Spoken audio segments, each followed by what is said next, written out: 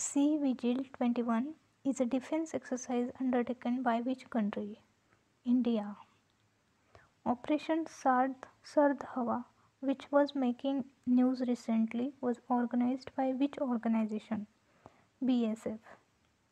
What was Iron Pack T 81, which was seen in news recently? Naval craft. Who has taken charge as the Vice Chief of Army Staff in India? C.P. Mohanty. Which company has tied up with the Russian Aircraft Corporation MiG to provide post warranty support to the Indian Navy jets? Crown Group. The Indian Navy received three Mk 3 advanced light helicopters from which company? HAL. Commando Battalion for Resolute Action, which was making news recently, is a commando force of which CAPF, that is CRPF.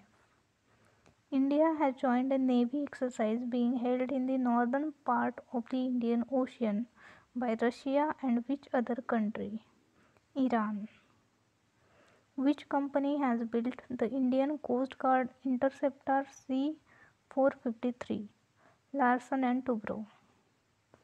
What is the name of the messaging platform to be used by the Indian Army shortly? Secure Application for Internet.